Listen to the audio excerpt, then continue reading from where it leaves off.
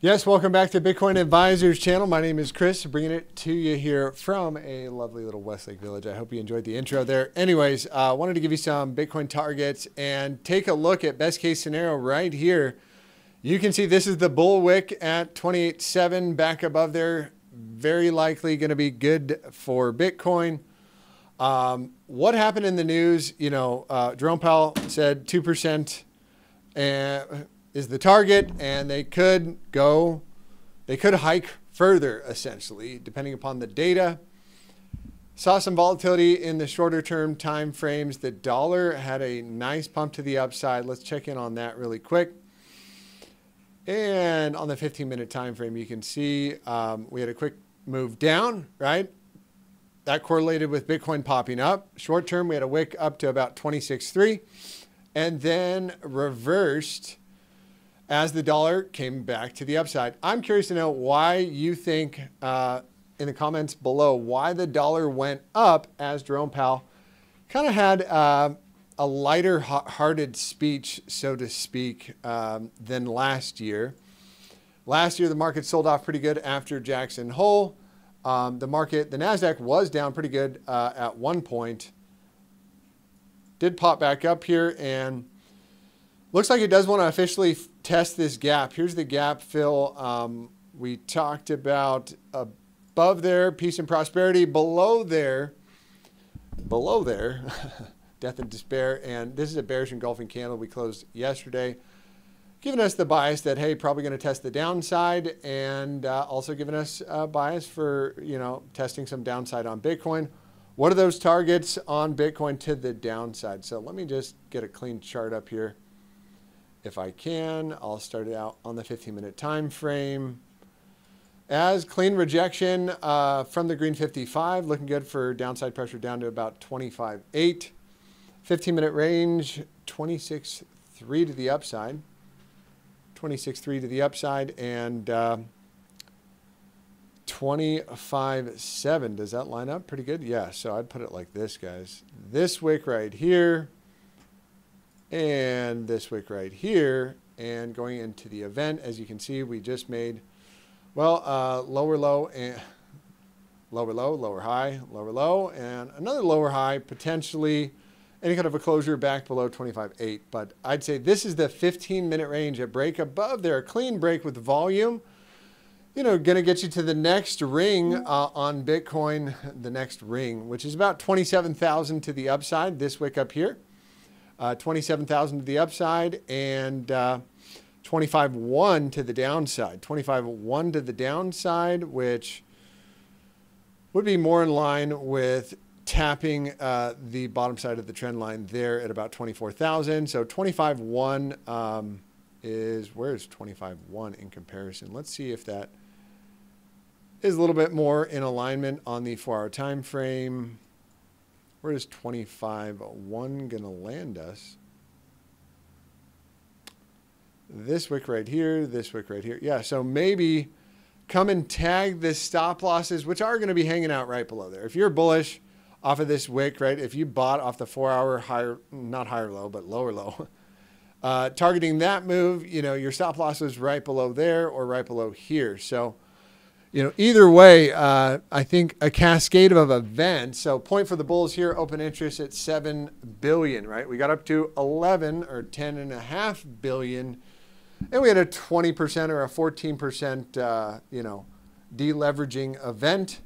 Um, and that's what happened in Bitcoin. So with open interest being already low says, hey, you know, for it to swipe another round lower, would have to take us down to the, I believe that was the SBF March 11, March 23 lows, March 23 lows. Anyways, back on to the regular charts. Let's check out uh, what's going on with gold popping up here slightly as the dollar came down and bounced off our target, filling in the descending triangle. I believe our upside target was about 1930, didn't quite get there and putting in a bit of a bear candle, right? So plays inverse to the dollar, and as long as we are below 1922 on gold, uh, pressure is going to be on to the downside. Yep, this is you know, potentially, well, potentially caught in a range here. Probably going to range. I don't think we're going to move today from this range unless the dollar absolutely starts ripping to the upside by the end of the day.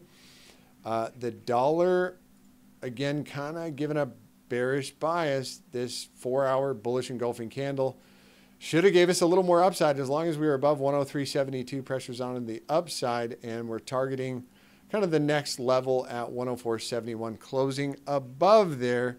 Definitely going to give us a, a bit of a bearish bias. So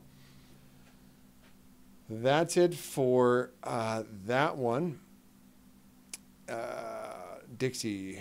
Dixie on the weekly time frame. Also on the monthly, which is going to be closing, uh, well, next week, about a week away from now.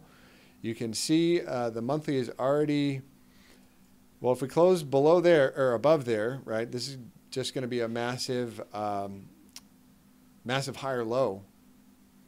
We just got to close above this middle wick. And yeah, that'll give us a launch up to the green box and pressure on for September for Bitcoin if something like that does happen this month, good eye to keep a closure and check in on these videos coming in towards the end of the month.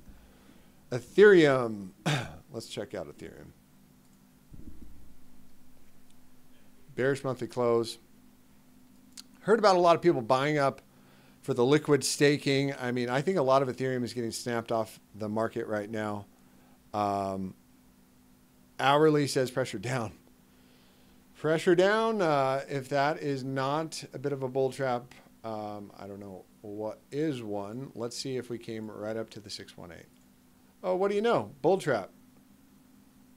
So people are trapped there, and where are they going to get liquidated on Ethereum? Well, let's look at those liquidation levels for Mr. Ethereum. I'm going to run the report and see where potentially the liquidations are going to come in and where we could get a potential bounce off of Ethereum. If it does want to play out to the upside, target is going to be 1678.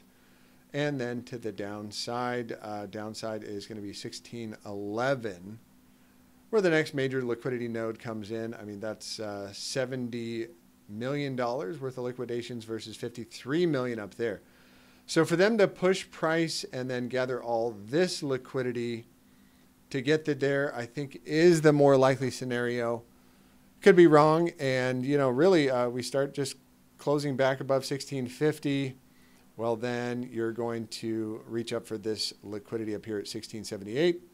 And no real major break of the range for Ethereum unless you can get above or below there, which is not a big range. You're talking about, call it 1700 to the upside and 1600 to the downside. 17 and 1600, a close above or below there is going to be getting you a pretty good move for Ethereum. Again, kind of bearishly biased with the idea that um, to buy the rumor, sell the news event, the NVIDIA, the NVIDIA thing. I think everybody knew that, that they were going to beat earnings. So, you know, dump it on the day of the earnings call. And, uh, well, I guess that was buy the rumor, sell the news, sell the news, sir. And that was probably right when they announced earnings or right after, something like that. Or maybe it was the day after. Um, do we want to check in on anything else? So gold holding the range and you know, if the dollar breaks up, then that's your bias that gold is going to come down. Same thing with silver. If gold starts to go down, silver probably is going to follow shortly behind there. And um, look, we did come up and tag the trend line. So perfectly, perfectly tagged. And now uh, it's time to come down. What is likely to happen now? Uh, after you hit resistance, well, you're going to come back and test the uh, support, support, support. So yeah, as long as we're below that level, in a pretty tight range still, yeah, until we can get back above 2531 pressures onto the downside, probably going to revisit the bottom side of the range, or at least this area right here at 2340. NVIDIA coming down hard still. Uh, let's check out uh, some altcoins. Why not? We're here. We're here. OP down 6% today. This one supposed to be the darling of the market, putting in a lower high on the daily, and I would look for downside continuation. A big, pretty much a big, bigger move down, especially, you know, at least revisiting 143 somewhere in this zone. And if we take out that wick, see you later, Mr. Optimism. Um, Synthetix, another big winner at some point in Bitcoin's history. A lot of these guys are coming back for the official test of this trend line, so watch out. Um, Rollbit, looking good, looking healthy, looking girthy. This one just can't stop. Uh, I do, I do like the narrative behind this one. Probably going to get hurt if Bitcoin does get hurt, but long-term buying opportunities. Anything you know along the way on this one, I think. Uh, grab the higher lows. Again, not financial advice, not a financial advisor. Um, let's see, BSV, Litecoin, Litecoin, Litecoin. Let's take a look at Litecoin as a lot of people were hoping this one could save the day. And, uh, you know, anywhere below this guy right here. I believe, uh, you know, we're going to revisit this low here at 54 bucks. So good opportunity on, and, and you know, of course, daily back, back above here and, you know, probably going to go to 73. So closer to a bounce than not. Let's look at the weekly on Litecoin. And yeah, it still has more downside to go if it wants to, but uh, that would not be good for the overall market. Don't have a good judgment on that one. Cardano, another one that could absolutely get hurt. You know, if we start to close weeklies anywhere below, back below here, the sellers or the buyers may run out. The buyers may run out. And next target down for Cardano is uh, 19476. All right, that's it out of me today. Facebook start putting in a double top here alongside NASDAQ, hitting the 786. Um, what did Bank of America just said? They said they said AI is not going to save the tech stocks, not going to save the tech stocks. So that's it for today, guys. Have a great weekend. Have a highly uh, blessed and highly favored day. I look forward to talking to you guys soon. Take care.